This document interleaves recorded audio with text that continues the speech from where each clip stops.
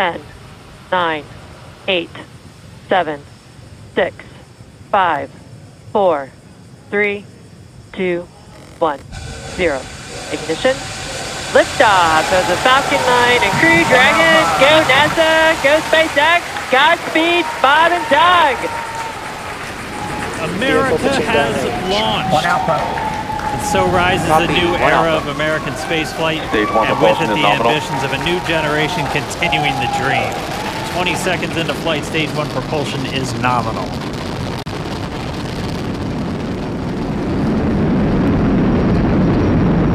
T plus 30 seconds into this historic mission. Flying crew on board Dragon and Falcon 9, and look at them go! Falcon power telemetry nominal. M1D throttle down. We're throttling down to get ready for the period of maximum dynamic pressure. We're in the throttle bucket. Reports say all systems are go. Vehicle is supersonic. We've exceeded Mach 1 on the Falcon 9. M1D throttle up.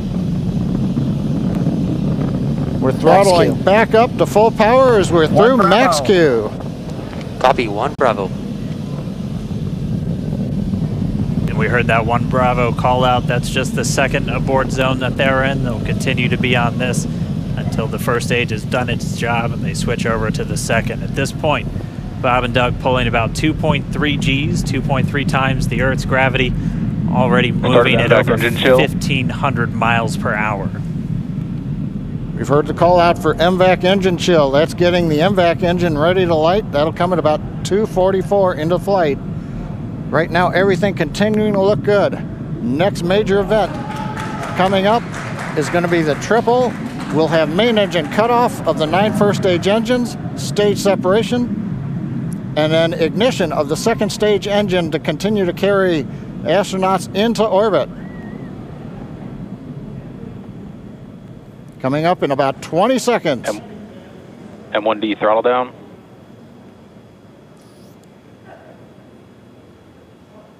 We heard we're throttling down the Merlin engines on the first stage.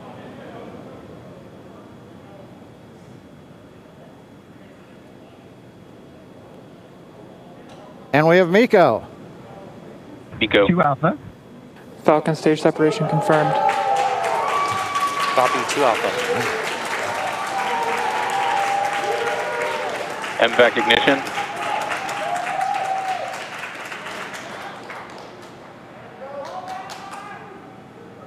All right, we have stage separation confirmed. The first stage beginning its flight back. The second stage being powered by that single Merlin 1D vacuum engine has ignited and is now Acquisition of signal carrying loss. Bob and Doug into orbit. So they're going to continue under the power of this second Stage Stage two propulsion is nominal. Which will cut off at SECO or second engine cut off at about 8 minutes and 44 seconds into today's flight. So a little over 5 minutes to go still on this second stage. You heard the call out to Alpha, so they're now in the longest abort zone that carries them all the way from about North Carolina up the eastern seaboard almost to Canada. Things looking good though, getting good call outs, nominal propul- pul- propulsion on that second stage. Bob and Doug continuing to make their way into orbit.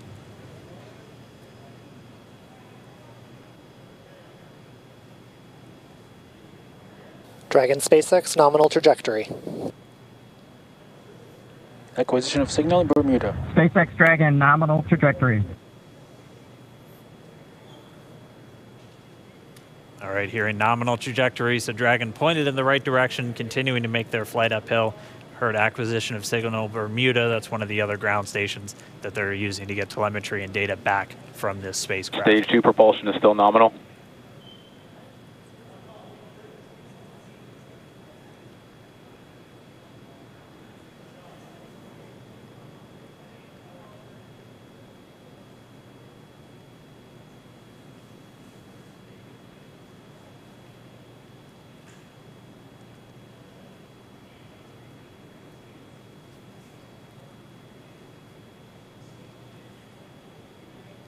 A little over four minutes, 40 seconds into the flight.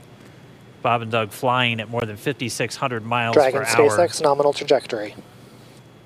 Already almost 200 miles downrange from the Kennedy Space Center. Nominal trajectory continuing.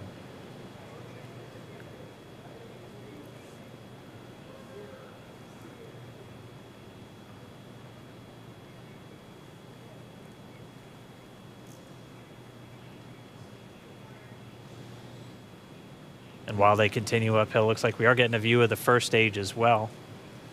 Yep, on your right screen, you can see that first stage with the grid fins deployed. It's making its way back to attempt to land on our drone ship. Of course, I still love you today.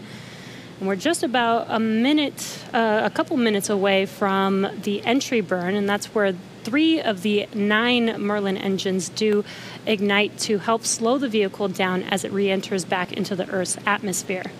And then after the entry burn will be the landing burn, which is just a single engine Dragon burn. SpaceX nominal trajectory. And you heard Nominal Starting trajectory. chill for entry burn. there's that call out. They are still on a nominal trajectory on Dragon, still on second stage, and that's that MVAC engine on second stage on your left screen.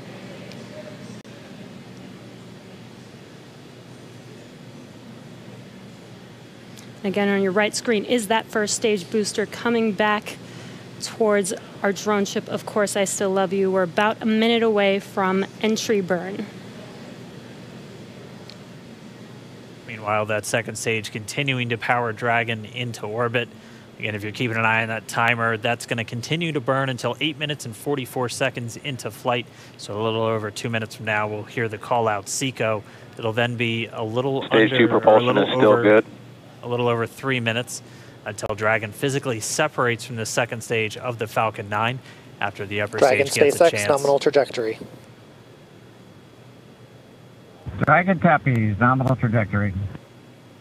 Continuing to check in with Bob and Doug as they are on a nominal trajectory. Just about 10 seconds away from that first stage, starting that entry burn on your right screen. We should be able to see that view live. Stage one entry burn startup.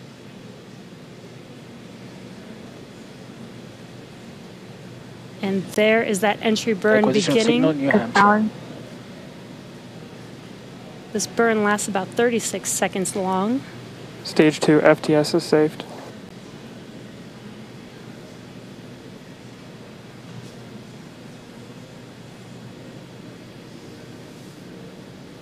While that entry burn continues, we're just about a minute away from SECO. We'll have a number of events all happen in rapid succession. Uh, it'll Copy, be the shutdown. second engine cutoff. Stage one We'll be looking for shutdown. that uh, stage one landing burn shortly after. Yeah, actually, just within a few seconds of each other. It's such a cool view on your left screen, seeing Bob and Doug on Dragon. Right now, you can see the displays that they are seeing right now themselves. Terminal guidance. MVAC throttle step.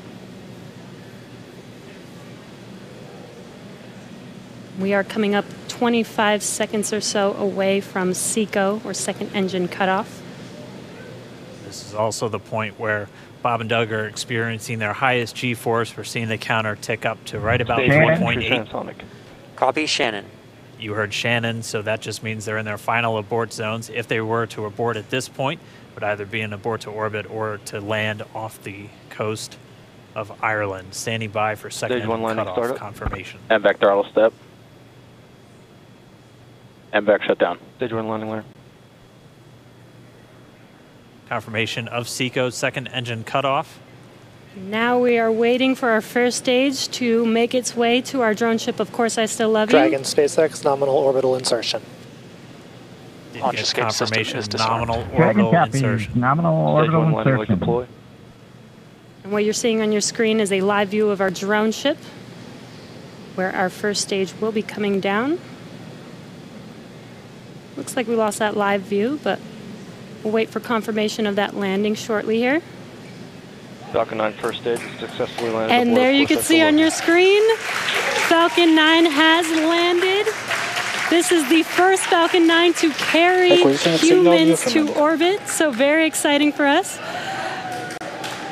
And as you can see on your right screen, Bob and Doug are still making their way to their targeted orbit. M1D to recovery one. So exciting today. M1D. It doesn't stop. It does not stop. All right, we did we did hear again that call out good orbital insertion, so that means Falcon 9 and Dragon right now exactly where they're supposed to be. M1D to FRC on recovery one. And it's right at about 12 minutes This is FRC. when Can Dragon will switch over to separate. Looks like we saw a zero G indicator floating around there. I know Bob and Doug owe us a little bit about what exactly that is that they brought up with them.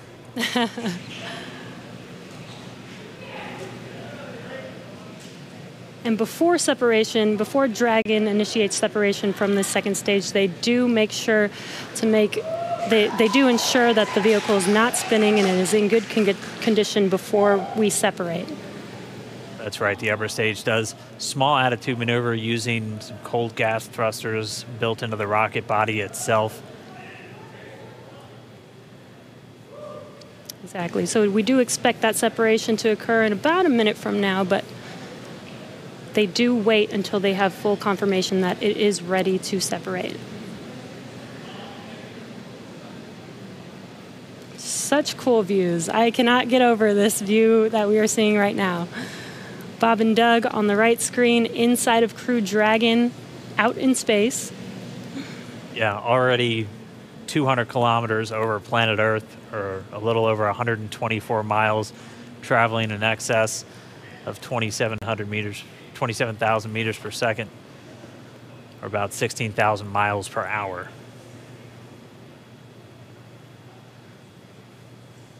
So again, we're just standing by. That separation event should be coming up shortly.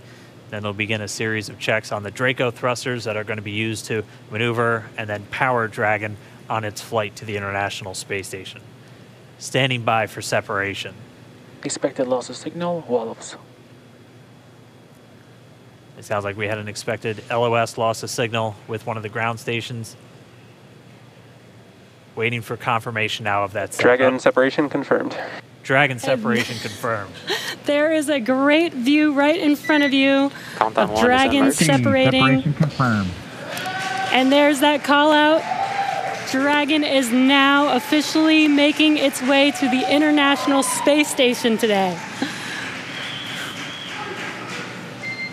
Dragon SpaceX with that separation call. Uh, we have a few words for you from our Falcon 19.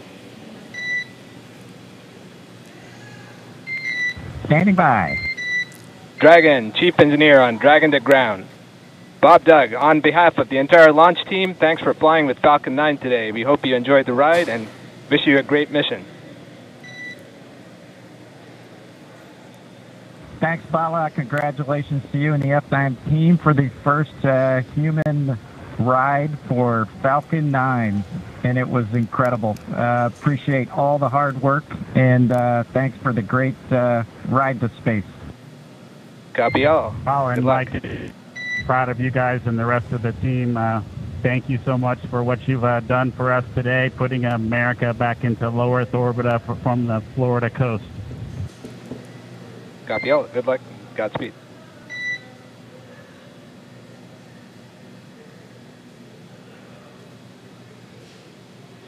All right, so Bob and Doug are in And Dragon space. SpaceX, we confirm nominal ECLSS activation and service section Draco checkouts. Uh, nose cone deploys in progress. Copy all. We're monitoring.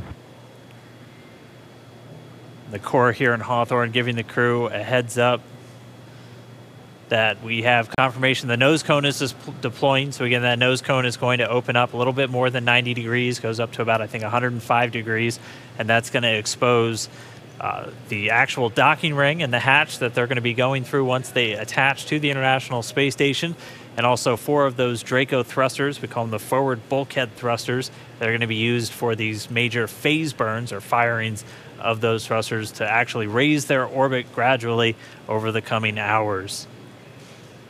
Also heard good activation of the ECLSS, that's the Environmental Control and Life Support System. That's everything controlling their atmosphere, uh, just keeping Dragon a nice, safe, habitable environment where they're going to be living for the next 19 hours until they arrive at the space station.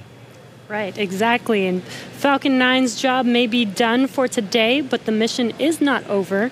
Crew Dragon's job is not done. As you can see, Bob and Doug are still inside Crew Dragon making their way. It will be a 19 hour trip to the International Space Station before they dock tomorrow morning. And such cool views. I love that we can get these live views here and see and watch what they're doing now that they are in orbit. Yeah, it's it's incredible to just be looking over their shoulder, to be along for the ride.